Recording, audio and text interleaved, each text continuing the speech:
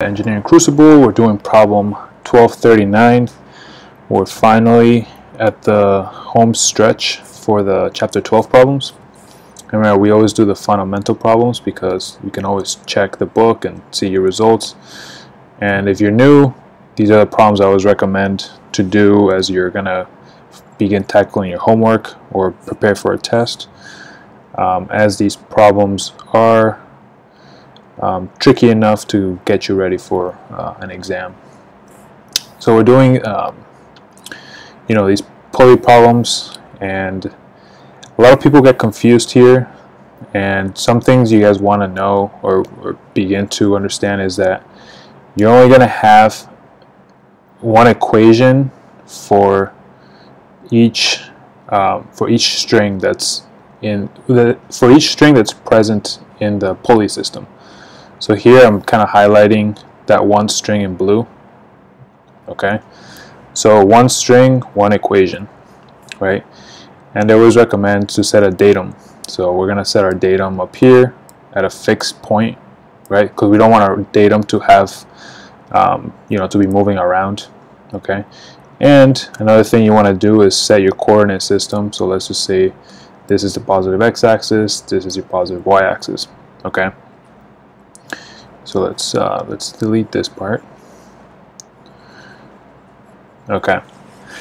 And now they want you to determine the velocity of block D if and A of the rope is pulled down with a speed of VA equals 3 meters per second. So we know VA is, you know, we're, we're yanking on this, right? So we have someone pulling on this. Here's their thumb, their hand, right? And they're bringing it down. So what's going to happen to this pulley system? Right, you want to first visualize it um, because physics don't doesn't lie. So we're going to pull this down. So this block D is going to end up moving up. Okay. So our final velocity should be positive, or you know, should be going up in the positive y direction. VA is going down in the negative y direction. Okay, just make sure you have that in mind. Now let's let's begin setting up an equation. So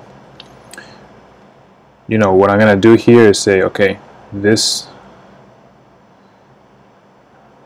this chunk of uh, of the rope is I'm gonna name it LC right? Whether we move over to this one right? There's another same uh, same length piece of rope LC okay and again, if we move over here to this side of the rope, that's another length LC. Okay. So as A is being pulled down, all these three strings are going to be um, they're going to be uniform in length. So you know L, that's why they're all called LC, LC, LC. If one of these strings were to change length, then we wouldn't be able to call it LC. All right.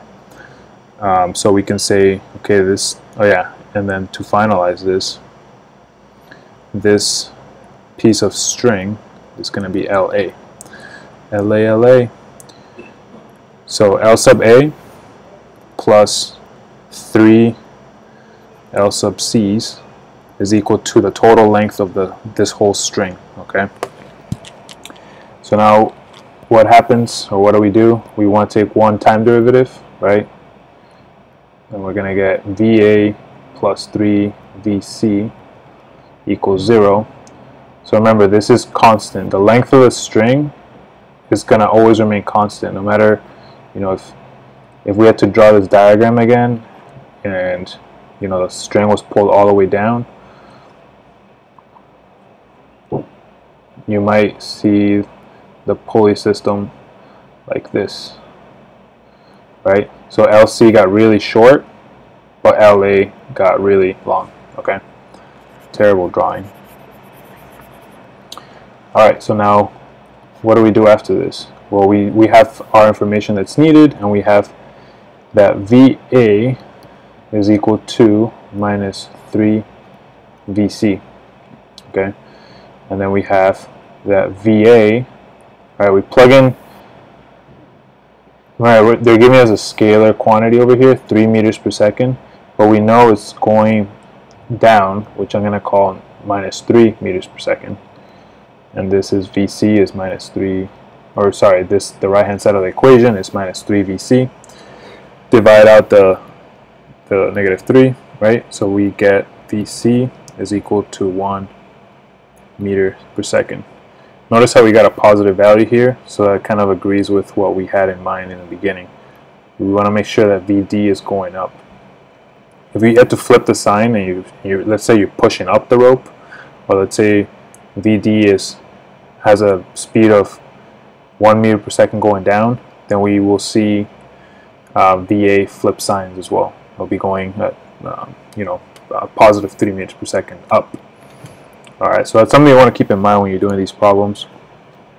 Also notice how you know you want to catch that um, these this string, this string, and this string are all the same length no matter uh, the length of LA.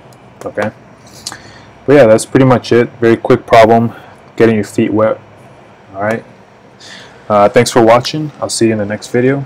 Uh, don't forget to subscribe, like the video, and um, if you have questions or comments, just drop them down below, and I'll definitely will get back to you. Thanks, guys.